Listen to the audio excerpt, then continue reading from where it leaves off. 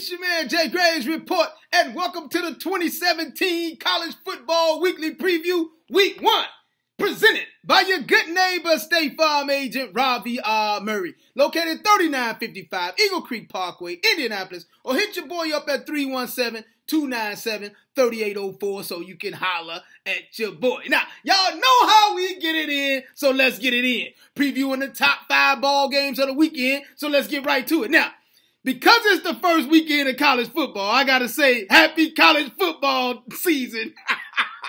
hey, this is the time we wait for because we had the most fun doing these college football previews, wrap ups, watching games all weekend. So, look, typically we do five ball games because it's typically five good ball games. But this weekend, it's only about two or three good ball games. I had to come up with a couple more.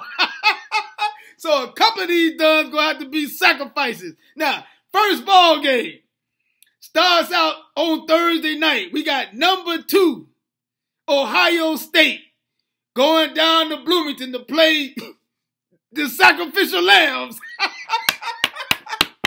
the Hoosiers of Indiana University shows up at the crib. Now, first of all, why is IU playing Ohio State right out the gate?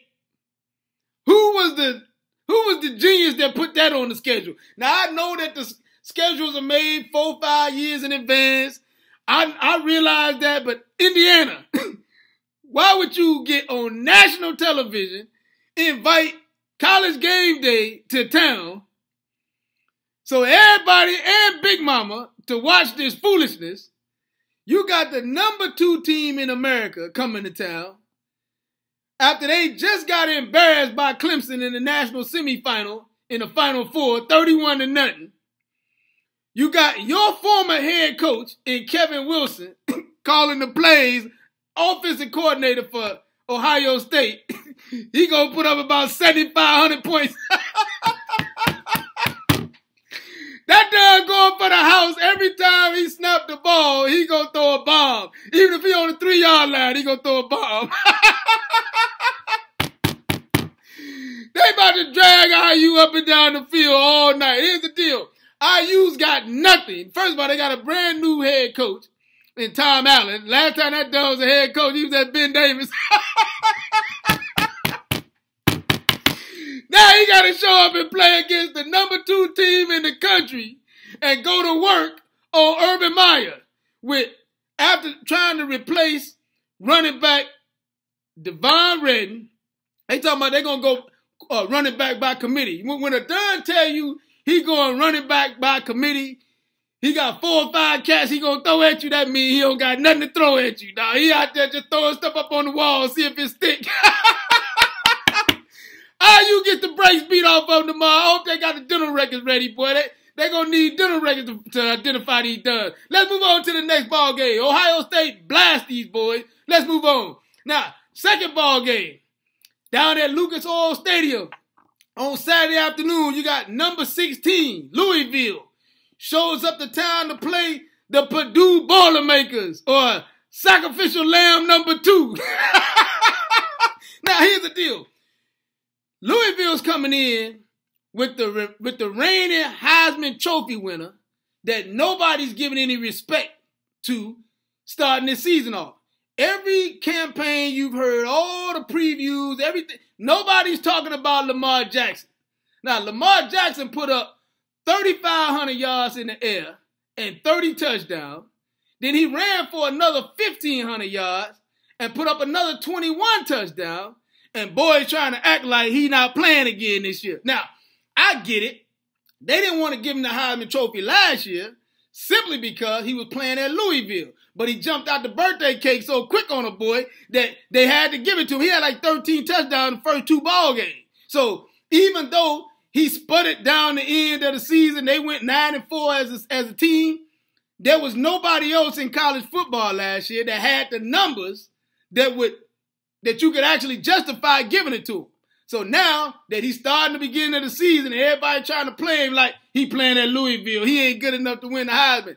We saw the Dunn go to work. So Purdue is about to be the sacrificial lamb because he get ready to prove all over again that he is as good as advertised. So Purdue, I know y'all got the biggest drum in, in America. y'all better throw that dud out there. Y'all better throw it out on the field. Trying to trip him when he out there coming down the sideline. Because ain't nowhere in the world you going to slow this boy down. And Purdue's got a brand new head coach, Jeff Brohm, just taking over. Did, did well at uh, Western Kentucky, 31 and 10 record, etc. But your quarterback that led the doggone Big Ten in passing last year, David Blough, got hurt on August 21st in a scrimmage. So now that done is questionable coming into this ball game. If he can't play, they got to throw a sophomore out on the field. Ain't gonna work, bruh. Purdue gets the brakes beat off of them this weekend. Let's move on to the next ball game. Now we got, let's go up to South Bend. We got Temple showing up to play unranked Notre Dame. Now, we haven't heard much from Notre Dame over the over the offseason. Them done went eight and four last year. Remember, this time last year, all the news on Notre Dame was they just gotten out of camp. Dunn's got five cats got pulled over in the car with the leprechaun, wrestling over a gun and some weed. you remember? Hey, they they charged three cats with a gun charge for one gun. How, how in the world you got three cats take one gun charge? so this year, what they did when they got out of camp, they tied the leprechaun up behind the doggone field house. They he been in there. They've been throwing scraps to him.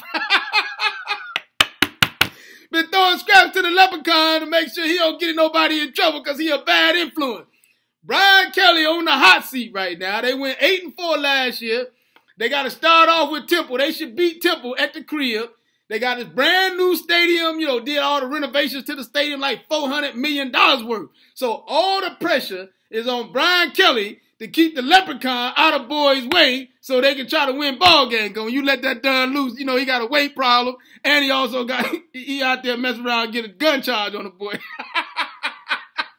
so Notre Dame wins this ball game. Let's move on to the next ball game. Now, it's a big one where it should have been a big one down at Cowboy Stadium. Yeah, number 11, Michigan, showing up to play number 17, Florida. Now, Michigan has already announced that they're gonna wear the all maize joints. For the joints duns that don't know what all maize is, that means they're gonna wear the all yellow joints that they haven't worn since 1928.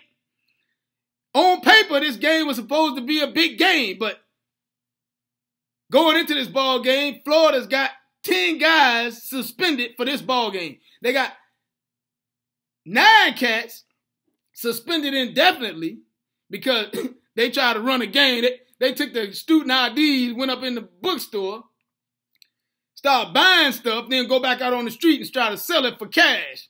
That's the same foolishness as guys back when I was in school, um, hassling boys off of long distance credit cards, all that kind of foolishness. Then you had another cat get caught with some weed in his room, freshman, get caught with some weed, smoking weed. So now you got 10 cats out of this ball game, starting wide receiver, starting tailback. So now they got Big Mama uh, playing tailback. Uncle Junior is playing wide receiver. You know what I mean? You, they about to get drug up and down the field by Jim Harbaugh and company. Jim Harbaugh been so slick, he wouldn't even release his roster until today, which is Wednesday. So he don't want to give up nothing, but he get ready to beat the brakes off Florida, send them back to the crib. It is what it is. Michigan wins this ball game. Now, let's go to the big ball game, the only ball game that makes sense this weekend. We got number three, Florida State, going down to Atlanta to play in the new Mercedes-Benz Stadium against number one Alabama. Now, here's the deal. This is the Chick-fil-A Classic. This is probably the biggest opening weekend ball game of all time when it comes to college football because outside of this ball game, you got number one playing number three. You haven't had anybody play this big of a matchup in terms of ranking since 1985 or uh, 1983. You had number one Nebraska play Penn State, which was number four in 1983. Then you had number one Oklahoma play number four UCLA in 1986. This is this is the big one. Now, Jalen Hurts returns for Alabama. did everything all day. The freshman, now he's a sophomore, a true sophomore, coming in and starting this ball game. On the other side of the ball, you got Deondre Francois, the ghetto Frenchman. coming in for Florida State. He about the baddest thing they had since Jameis Winston. So now, which one of these teams come in and put in work? All the analysts, everybody talking about Florida State might be the one to go in here and beat these boys. I'm going to tell you right now, Florida State's not going to win this ball game. Alabama is still Alabama until one of these does get caught with some foolishness or Nick Saban decide he want to take off because he tired of the foolishness. Alabama wins this ball game in Atlanta. Hey, make sure you keep up with your man all season. Every Wednesday, we doing the college football weekly preview. Every Sunday or Monday, depending upon how I feel, we going to do the recap. But it's your man, Jay Graves Report from the jgravesreport.com, or you can hit me up on Twitter at jgravesreport so you can holler at your boy. And always remember that this segment is presented by your good neighbor State Farm agent Ravi R. Murray, located 3955 Eagle Creek Parkway, Indianapolis, or hit your boy up at 317 297 3804 so you can holler at your boy.